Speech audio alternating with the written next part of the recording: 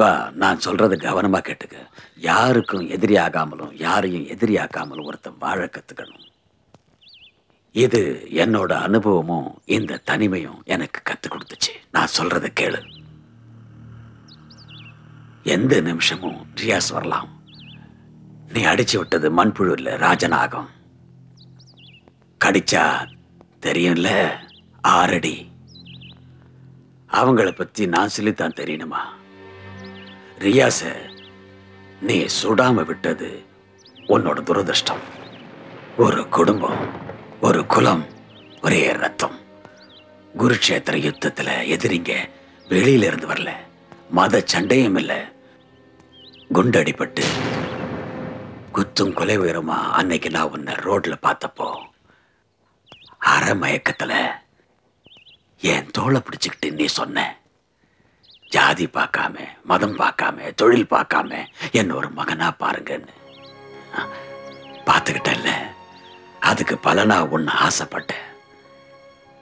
இந்த கிழவனோட கட்டை அனாத பணமா போகக்கூடாதுன்னு. ஆமா நீ என் மகன் என் சொந்த மகன் என்னோட சொத்து. நீ சம்பாதிச்சு பல லட்சங்களை என் முன்னாடி கொட்டின. அதுல இருந்து ஒரு சல்லி காசு கூட எனக்காக நான் எடுத்துக்கல. எல்லாம் வீட்டுல சேஃப்டியா தான் இருக்கு.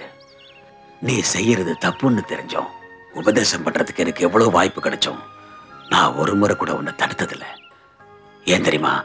தப்பு பண்றவன் திருந்துறதுக்கு என்னைக்காவது ஒரு வாய்ப்பு வரும். உனக்கு இப்ப வந்திருக்கு. ஆனா யாரோ எங்கிருந்தோ என்ன கூப்பிடுற மாதிரி இருக்கு மனசுக்குள்ள. பாபா நீ கிளம்புடா. இல்ல. நீ கிளம்புடா சூறாவளிய போல. வானத்தை கிழிச்சுக்கிட்டு. இல்ல. உங்களை தனியா விட்டுட்டு எங்கேயும் போக மாட்டேன். மரணம் விரும்புறப்ப கிடைக்கிறது புண்ணியம். இந்த நெஞ்சில ஒரு குண்டை பாய்ச்சிட்டு வேணும்னா இங்கே இரு.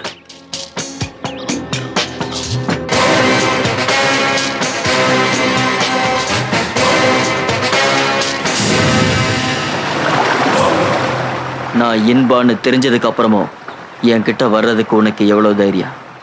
இந்த தில்லு பணத்து மேல உனக்கு இருக்கிற ஆசை. நான் சம்பாதிச்ச கோடிகளும் நான் செஞ்ச பாவங்களும் எனக்கு மட்டும் சொந்தம்னு நினைச்சேன். இன்பாவுக்கும் அரவிந்துக்கும் இடையில இடைஞ்சலா இல்லாம இருந்தா தர்மராஜ் நீ கனவுல கூட நினைச்சு பார்க்காத பணத்தை உனக்கு நான் தரேன். நான் ஒன்று நம்புறேன். இன்னொரு விஷயம் என்கிட்ட பணத்தை வாங்கிட்டு எனக்கே ஆப்பு வைக்க நினைச்ச தேனி மாவட்டம் கம்பம் புதுப்பட்டியில தங்கராசோட கடைசி மவனை. ஏய் உன் குடும்பத்தை மொத்தமா எரிச்சிருவேன். அதுவும் என்னை பத்தி நல்லா தெரியும்ல? மும்பையில் நான் களை எடுத்த காக்கி தலைங்க எத்தனைன்னு எனக்கே தெரியாது. உணர்ச்சி வசப்பட்டு உன் போலீஸ் புத்தியை என்கிட்டயே காட்டினான்னு வச்சுக்க. இந்த அரவிந்தனோட வழியில நீ ஒரு அபசகுணம்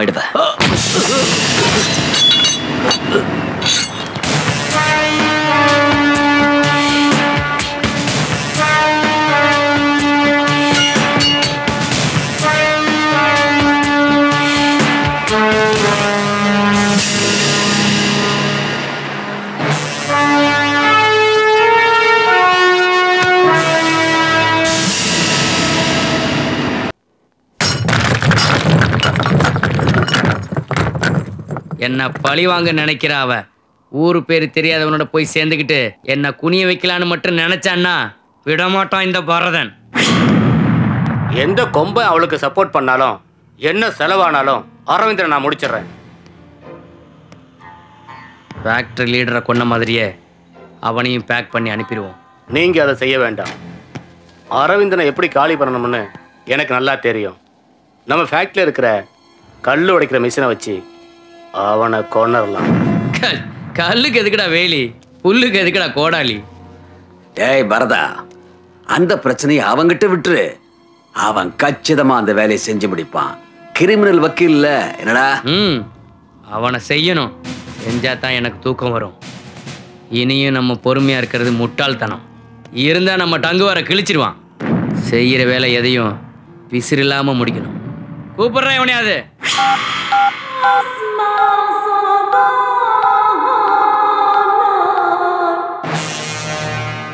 कौन अली करना जल्दी करो अपोसास करने के लिए वक्त नहीं है अली मुझे बाबा को कनेक्शन दे दो நீ இங்க வரணும் அப்படிங்கறத தவிர வேற எது வேணாலும் பேச நான் கேட்டுக்கிறேன் உன்னை இழக்க நான் விரும்பல என்பா தெரியும் பாபாவோட ஆசீர்வாதம் எனக்கு எப்பவும் இருக்கு நீ இங்க இல்லாததால நிறைய பேர் தலை தூக்கிட்டாங்க. அக்பர் ஷாவும் ரியாஸ் கானும் கண்ணில் விளக்கண்ணை விட்டுட்டு தேடிக்கிட்டு இருக்காங்க. அவங்க எந்த நிமிஷமும் உன்னை கண்டுபிடிச்சிடலாம். பாபா அதுக்கு முன்னாடியே இங்க ஒரு ஆள் என்ன கண்டுபிடிச்சிட்டான் பவர்ல இருக்கிற ஒருத்தன் போலீஸ் ஆஃபீஸர் என் தலைக்கு இருபத்தஞ்சு லட்சம் ரூபா மதிப்பு எனக்கு வாழ்க்கைய நல்லாவே புரிய வச்சிட்டீங்க. எனக்கு பணம் வேணும்.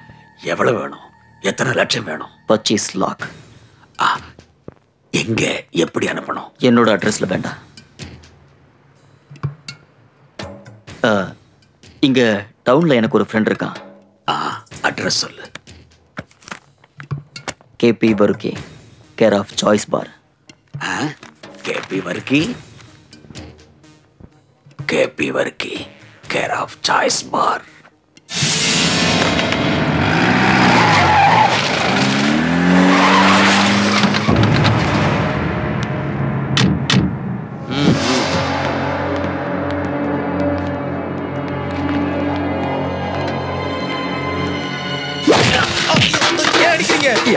அந்த பன்னாட பையன்?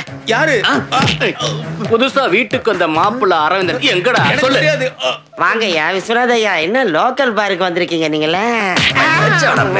ஒரு கட்டிங் போடேன் என்ன நீ கோட்டரை கொடுக்குறியா? எங்கடா அரவிந்த அவன் யாருன்னு எனக்கு தெரியாது. அந்த புறம்போக்கு பயல எங்க ஒளிச்சு வச்சான் எந்த மகாராணி அவனுக்கு அடைக்கலம் கொடுத்தாலும் அவனோட சாவு என் கையால தான்டா. இந்த கையால. ஆத்தாடி ஏறின போதையெல்லாம் இறங்கிடுச்சுடா சாமி.